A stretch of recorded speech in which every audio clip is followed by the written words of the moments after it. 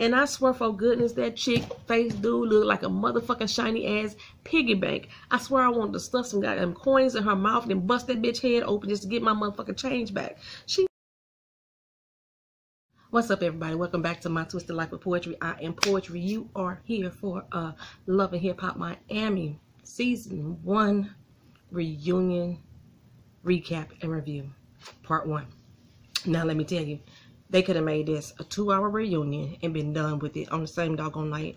We really didn't need to have it split into two reunions. The only reason why I think it's split is because of so many people and they have so many storylines to try to cover that they couldn't get it all in this first minutes, plus these little fake ass fights that was potentially breaking out. Yeah, so that's the only reason. Plus they did like a, uh, uh, uh, who did a performance? Trick or Trina did a performance in the middle of the show, which is like another five minutes of it. They left that out. They could cover like three more storylines. So we got Nina Parker as the host. A lot of people seem to like her as the host of the show. I think she kind of boring and don't ask the right questions the majority of the time that's just my opinion about Nina. But Nina looked really pretty. Um, I did love her whole look. I'm usually not gonna. I don't know why I don't go through the fashion because I like watching modeling shows and fashion shows. So, um, whose outfit threw me off? Hmm. Let's see. Um, blue. He had that chinchilla on his back. That threw me off. Uh, Jeffrey wore chinchilla with nothing else that threw, he's like one of the worst dressing people on this damn show to me. Um, Prince in his fuchsia suit, satin suit, him and Veronica matched today, and Hollywood with the comb front, her. Those are the things that bother me as far as people's looks on the show. Everybody else I thought looked pretty okay. You know, it was all right. Okay, so on the stage starting off, we got Trick and Treat, Gunplay, Joy, Tip, Pleasure, and Bobby. On the couch, we got Prince, Amara La Negra, um, Holly Ass, Pooch, Shay Johnson, and Blue. Um, we missing old fake ass Steph. We missing um, the real one JoJo. We missing Simply Jess. So I think that's everybody that's part of the that's supposed to be part of the cast that we're missing. Um, I didn't see Gunplay's girlfriend, Kiara. I didn't see her initially. But doing the show, doing the taping, I, I start seeing like Kiara in like flash points, but I didn't see her in this first half. Um, the, the Jamaican chick Gabby that Pleasure was fucking with, they gonna satellite her ass in. Oh, and Liz, Liz was on the couch. Liz was so, she became so irrelevant at a certain point during the show.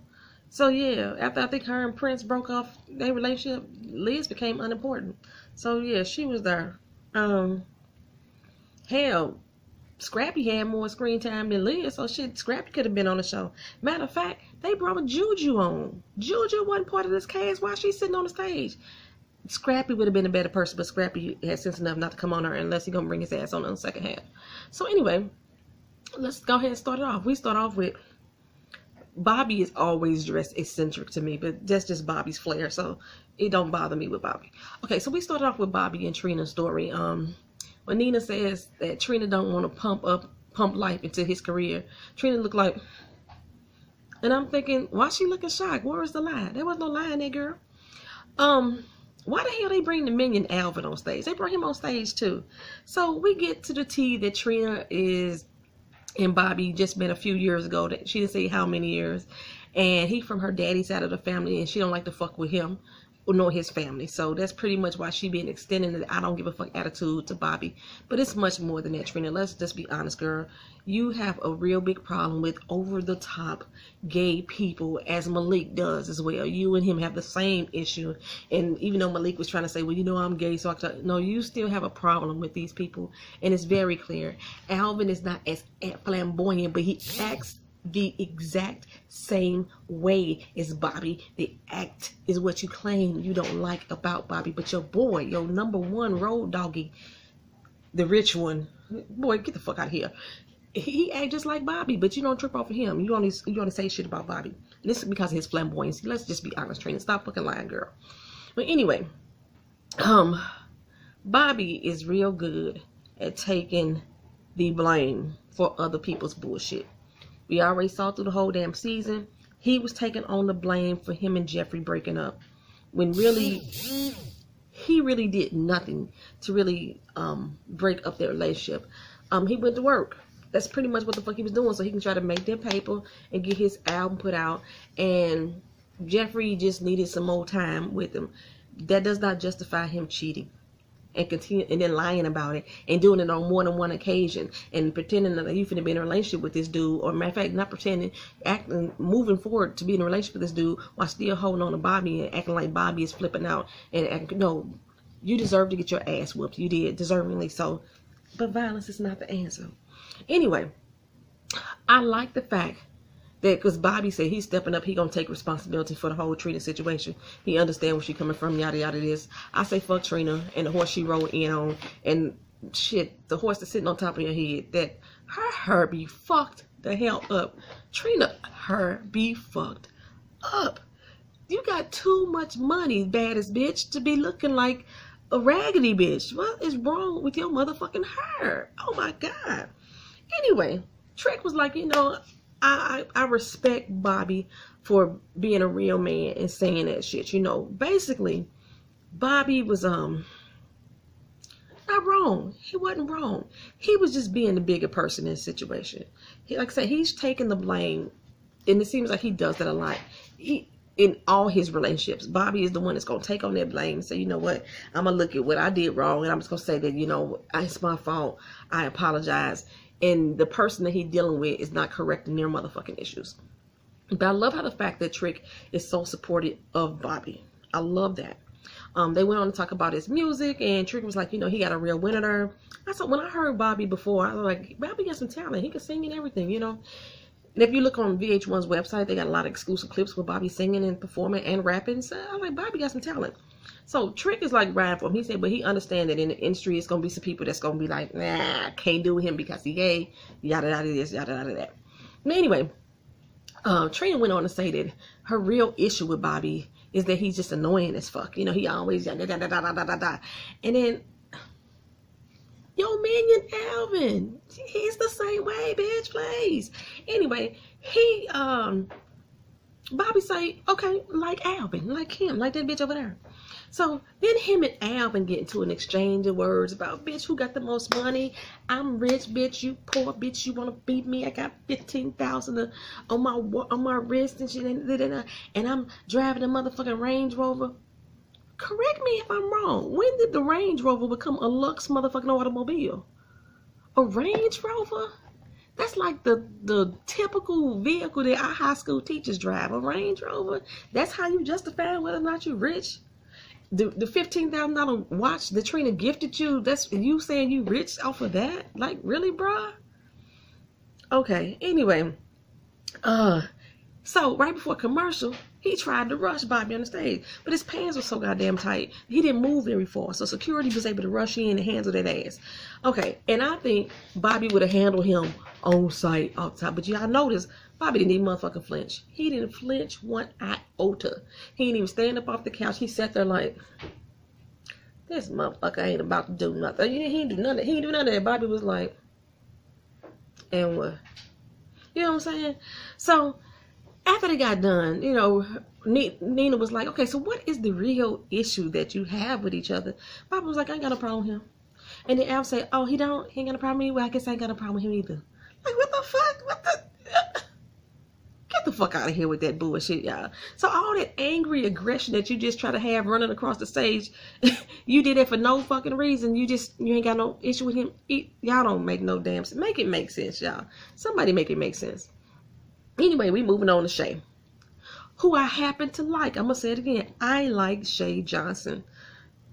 All y'all other reviewers that don't, y'all can suck it. I like Shay. oh, anyway, we really moved on to like Pretty Ricky's story and Pleasure's beef that he had with Shay about her beef with Blue that turned into um his beef with Blue. So Nina asked what initially broke up the group. So Pleasure started off with saying, you know, it's money problems. People weren't paying us for songs that we were doing. And Spec saying, like, you know, it's because we were young. Blue say, hold up, hold up. That is not what broke the group up. What broke the group up is that Pleasure wanted to go off on his little solo tip. Let's be honest about that. So I see pleasure colored in his beard a little bit more. And I don't know. He got that. I don't know what the fuck. That's. He He looked like the king, the jack in a deck of cards. That's what his face looked like now. Mm-hmm. He sure do.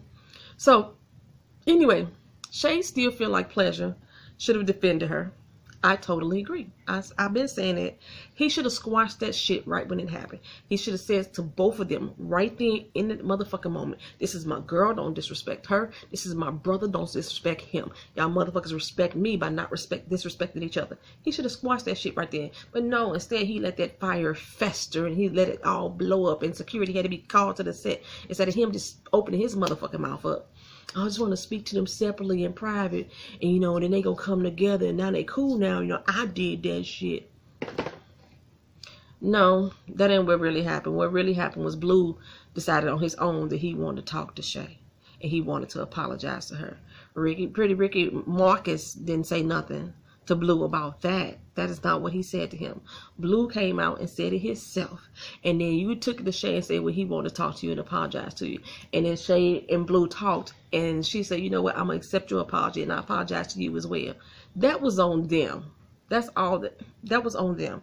Well, anyway, because at no time did Pleasure tell Blue that he was being disrespectful to his girlfriend. At no time. He went in on Shay. He did. But he mainly went in on Shay for a whole nother reason. Okay. So anyway, um, while Blue is trying to explain to Shay why Pleasure could not defend either one of them in that moment, Liz jumps in and gives her opinion on it. Um, and she's like, nah, he really should have defended her, right? And Blue like, the fuck are you? Who are you? What the fuck are you jumping in here? I don't get no fucks. And Shay like, that's my girl, that's my friend. He's like, I don't get no fucks about your opinion. I didn't ask you for your opinion, so shut the fuck up. Okay, now we back to day one, Blue the one we met initially. And I'm like, bruh, you out of pocket again. You out of pocket. So Nina like, look, don't be disrespectful with her. And Liz like, let's right, don't let's not be disrespectful. But Blue still yelling like, shut the fuck up, shut the fuck up, shut the fuck up, yada yada yada. So Prince and his fuchsia suit jump up like, hey, don't be talking to her like that. So Blue jump up. I swear every time this motherfucker jump up, I don't realize that he's standing. That's how short he got that motherfucking Napoleon complex. Every time that nigga jump up, I don't realize that he's standing up. He jumps the fuck up. Security step to him.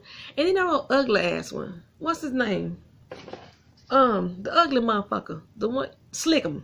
Slickum with his high ass. You could tell that motherfucker's high all the time. His high ass try to jump bad at Prince, right? He's so motherfucking high. He didn't realize that he was moving in slow motion. and security shut him down real motherfucking quick. Did y'all know that Blue and Speck are real blood brothers? Yeah, Speck is Blue's little brother. Blue real name is Diamond, which always tripped me off that he had, his name was Diamond. But yeah, they real blood brothers. And Slickum, ugly that's their real cousin.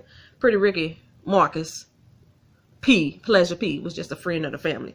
Anyway, I realized that Speck always has pleasures back in disagreements too. I wonder what that's about. Maybe they was fucking because I always thought that Speck was gay anyway.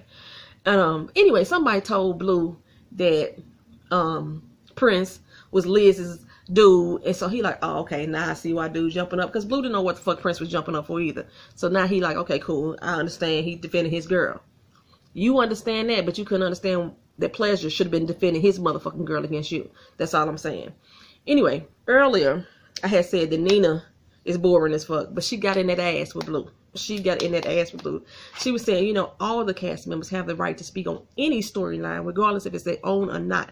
And Blue starts yelling at Nina about how she not gonna check her him about some motherfucking girl. You know, he could talk to her the way he want to talk to her. And Nina bossed up on him. She was like, look, I said what the fuck I said. Damn it. She could say what the fuck she want to say up on this goddamn stage in the damn discussion. And and I'm like, okay, Okay, she's like, this is what we're here for. That's what the reunion is about. So Blue like, okay, okay, you right, you right, you right. And he backed down and apologized. Well, Nina accepted it. Liz thanked her. Moving on. Moving on to the mint chocolate chick. Gabby. She down in Jamaica and she's still trying to smash um, pleasure. Uh, she thirsty as fuck to me. That's thirsty.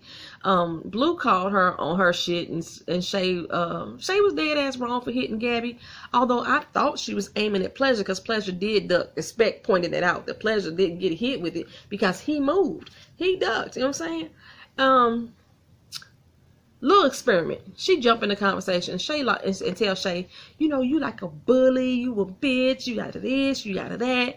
And Shay tells Nina, hey, the experiment twins need five, you know, five minutes. Go on, give them their five minutes of shine. I'm gonna let them have it. So little experiment twin jumped up, and it looked like she done put Kiara's ass on her back.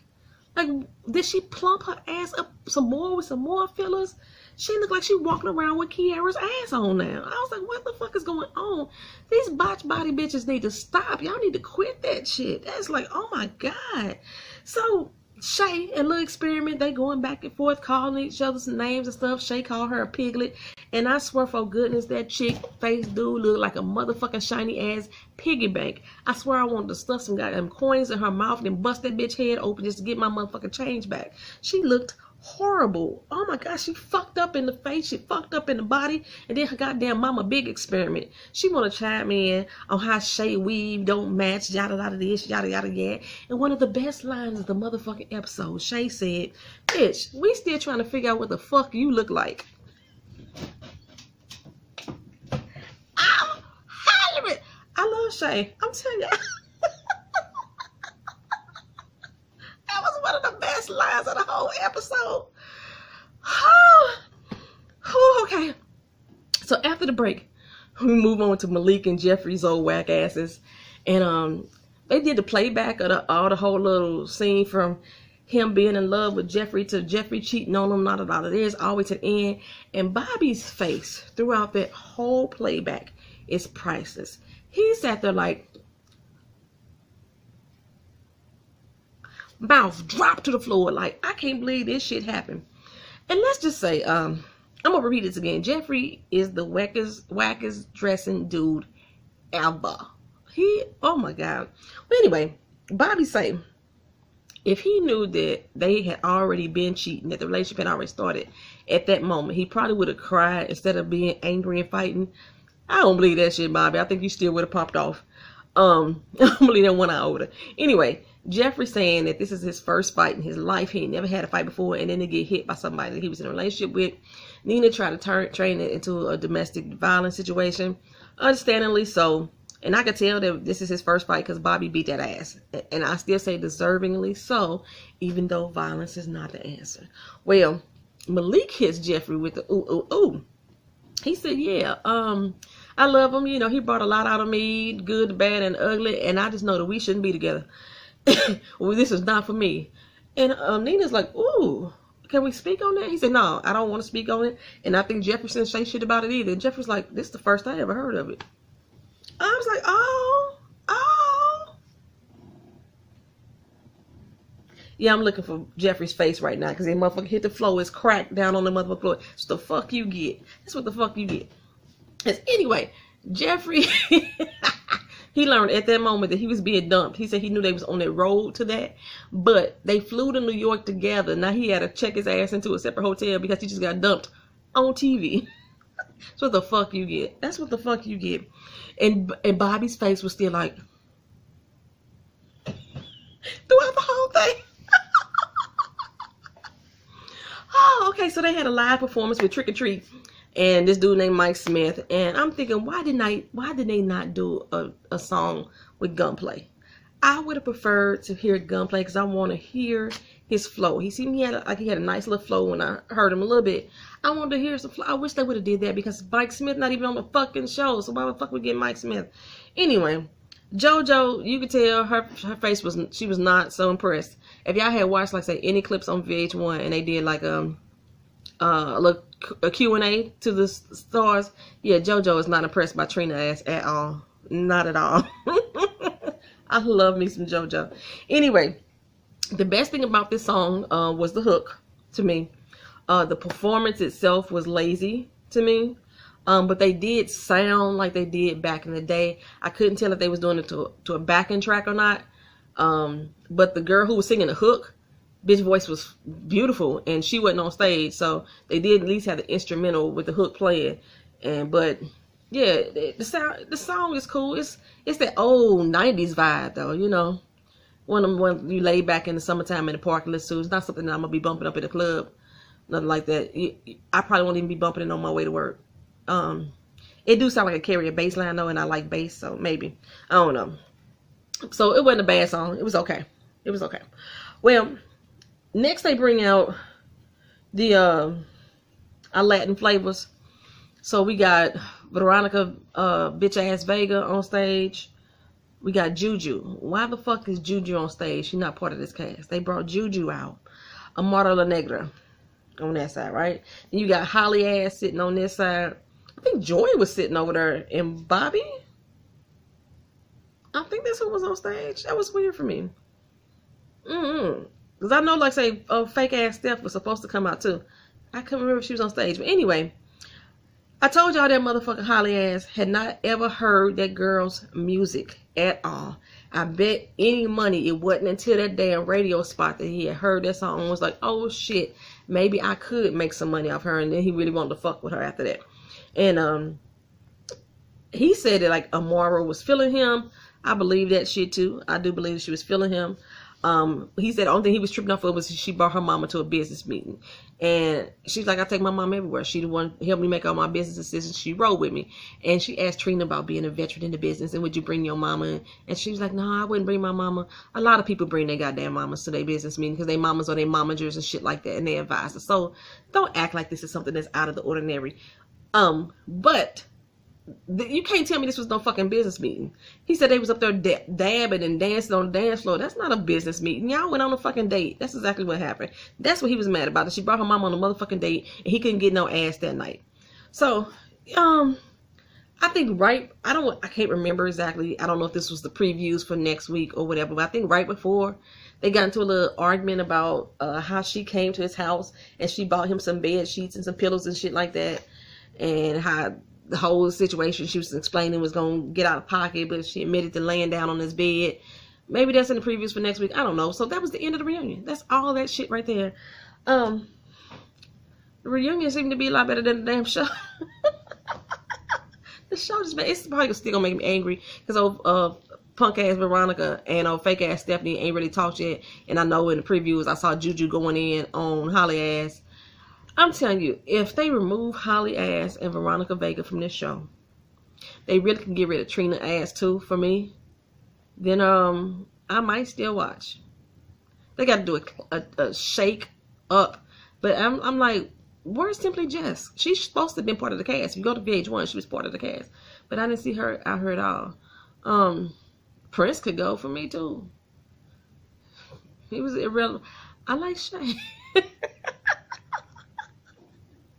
I like Shay. I like Bobby. I can't stand Trip, but she tip, but she could stay.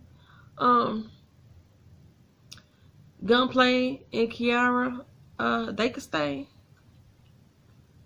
Yeah, even Trick could stay. Trick and Joy situation, I really want to see how that unfold. But they could do it without Trina for me. Yeah, so if they do a complete major shakeup, then maybe I'll change my mind and uh, review again next year. But Veronica Vega and Holly ass gotta go. They have to go for me to watch again. I'm telling y'all that. But I'll be back here next week for the reunion part two. I will be. I will be. All right, y'all. Thank you for watching the video. Like, give it a thumbs up so that way I can know that you liked it too. If you have any questions or comments that you want to leave, leave them down in the comment section, whether you disagree with me or not. You can leave it down in the comment section too, as long as you're respectful to me as the host and me. All right. And uh, share this video if you have other social media outlets that can be shared so other people can see it, you know. All that there. And subscribe to the channel if you have not already done so before for other great TV show recaps and reviews. Thank y'all for coming out. Peace.